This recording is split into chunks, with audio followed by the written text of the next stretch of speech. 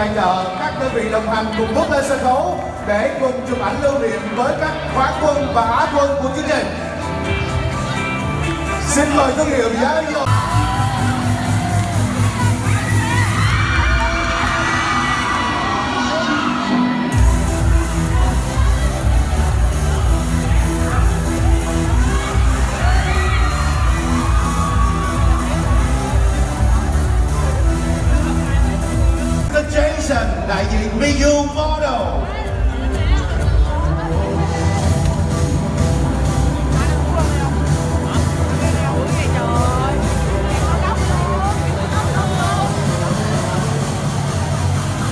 Chúng tôi một lần nữa xin mời anh và ban Tuấn đại diện Mark Cosmetic Việt Nam cùng bước lên sân khấu để chụp ảnh với các quán quân và á quân của chương trình.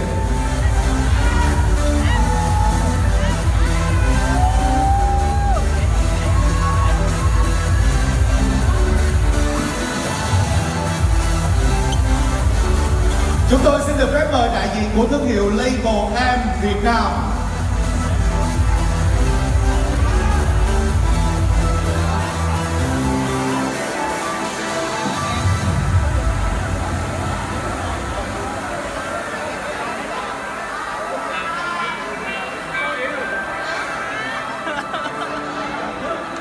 Xin cảm ơn anh Tuấn. Bây giờ xin được phép mời chị Angie Quách và chị cho Label em.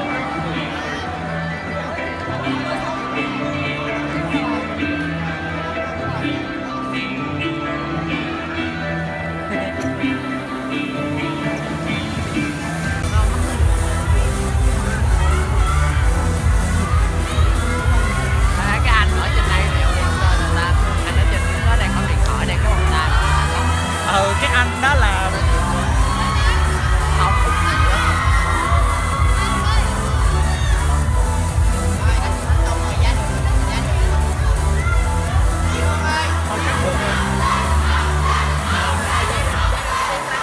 Ê, tí nước không biết định lên chụp hình đừng cách quốc đi. Chúng tôi xin được phép. Ê, được Rồi,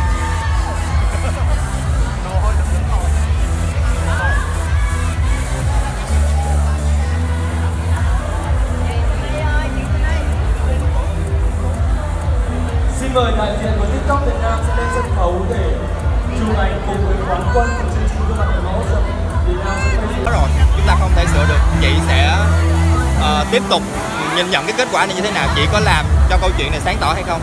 Phương nghĩ rằng là Phương bước qua và sẽ chuẩn bị vào những hành trình mới. Và Phương nghĩ rằng là chúng tôi sẽ cần một lúc nhiều hơn. Còn ờ, đào mới lại nó thì có thể xem là Phương nghĩ rằng là chuyện gì cái kim trong mọc lâu ngày nó cũng sẽ lòi ra thôi. Còn nhưng mà Phương ờ, Phương hy vọng chuyện đó không phải là sự thật có một yếu tố nào đó để cái thể trọng của anh? Xin mời đại diện gián tiền người đã thiết kế ra bộ sưu tập kết vàng trong thời trang quốc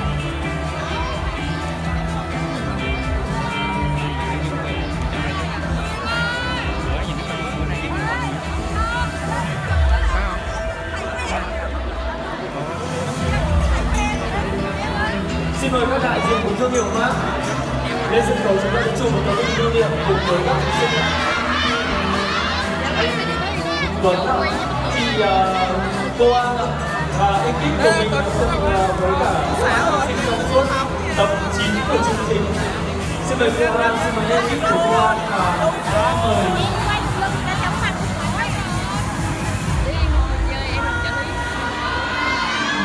Xin mời các đại diện của thương hiệu mang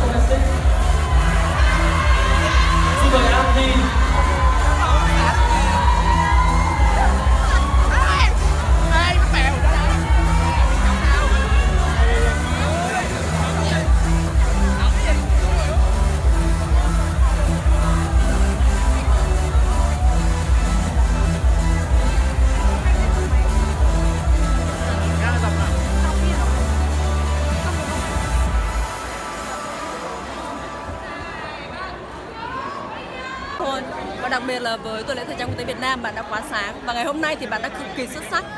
Bạn ấy có bản lĩnh sân khấu bạn ấy có cái có một sự thông minh tự tin. Và đặc biệt bạn ấy sẽ làm người mẫu thế hệ mới. Xuất sắc cùng còn với Tú Anh thì nghĩ Tú Anh có điểm gì hơn Xuân Hạnh để giành với quán quân tôi nghĩ là chắc cao hơn được mấy phân Chỉ vậy thôi. Nam. còn rõ ràng ngày hôm nay tú anh thì mọi người đã nhìn thấy rồi ok phương cứ tôn trọng kết quả. Thế nhưng mà phương nghĩ rằng là tất cả mọi thứ chỉ làm cho đội ngũ phương càng nỗ lực Nguyễn hơn nhiều hơn và đây sẽ được dừng lại. Chị thiết sẽ có những cái kế hoạch nào để phát triển lên mạnh hơn trong tương lai? có sẵn rồi bởi vì là khi mà các thí sinh về với đội của Phương thì Phương đã làm việc về chiến lược với các em rất là nhiều. Để hiểu xem rằng mỗi một em có một cái cảm tính gì đặc biệt, mong muốn gì đặc biệt trên hành trình tương lai sắp tới. Và đặc biệt hơn nữa đó là cái từ cái học vấn từ cái ạ. lực tất cả mọi thứ thì nó sẽ cần phải phù hợp và độ và và nó sẽ có thể giúp cho thí sinh của mình phát triển xa hơn.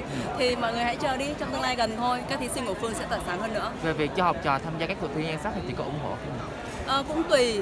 Ờ, nếu như mà học trò của Phương mà mong muốn tham gia thì Phương sẽ có những cái buổi chiến lược rất là rõ ràng để hiểu xem rằng là ờ, cái cái niềm đam mê thực sự của các em đến đâu cái mong muốn của các em là gì và cái nội lực của các em ra làm sao. Nếu thực sự có những cái cơ hội có thể là chỉ là cọ sát có thể rằng là có thể giành được một cái việc gì đó thì Phương hoàn toàn tôn trọng và Phương sẽ cố gắng nỗ lực cùng với các em. Dạ. chị làm sao để giúp các học trò vượt qua những cám dỗ trong nghề?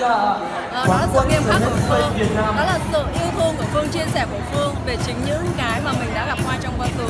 Những cái mà Phương quan sát thấy trong cuộc sống này học hỏi được và sẽ chia sẻ cho các thí sinh của mình. để mà có thể vượt với qua được tất cả mọi cám dỗ bởi vì Phương tin rằng là cái gì rẻ cái gì mua được bằng tiền cái gì mua được bằng sự đổi trang thì chắc chắn nó sẽ không có giá trị lớn và lâu dài